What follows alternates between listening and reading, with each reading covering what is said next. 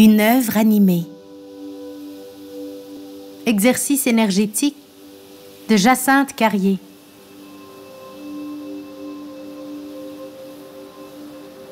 En pleine forêt, une scène inusitée se déroule. Au beau milieu de cette zone en friche, cinq personnages sont en pleine contemplation d'une source lumineuse devant eux. L'activité énergétique symbolisée dans l'œuvre par les lampes et la génératrice qui les alimente est décuplée par la présence d'un pylône électrique. L'aviez-vous remarqué? Il surplombe la scène complètement hors champ, mis à part deux de ses pieds d'acier. Même si la scène nous est présentée en pleine nature, avec à l'arrière-plan une lisière de conifères servant d'horizon à l'image, divers éléments rappellent un appartement ou une maison. Il y a les lampes et les abat-jours, mais aussi l'escabeau, la vaisselle, le meuble, les chaises et la corde à linge derrière les protagonistes. Ces derniers ont presque l'air de vivre dans les décombres de leur propre logement.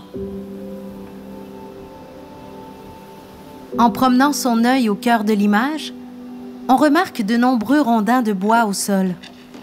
Ils semblent avoir été recueillis pour un feu qui n'a jamais été allumé.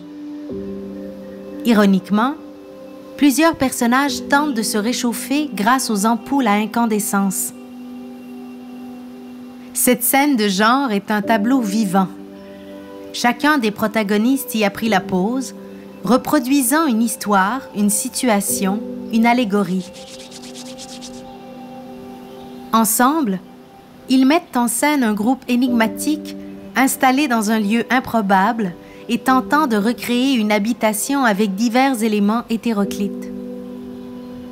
Telle une performance tablant sur l'étrangeté, cette œuvre questionne et intrigue.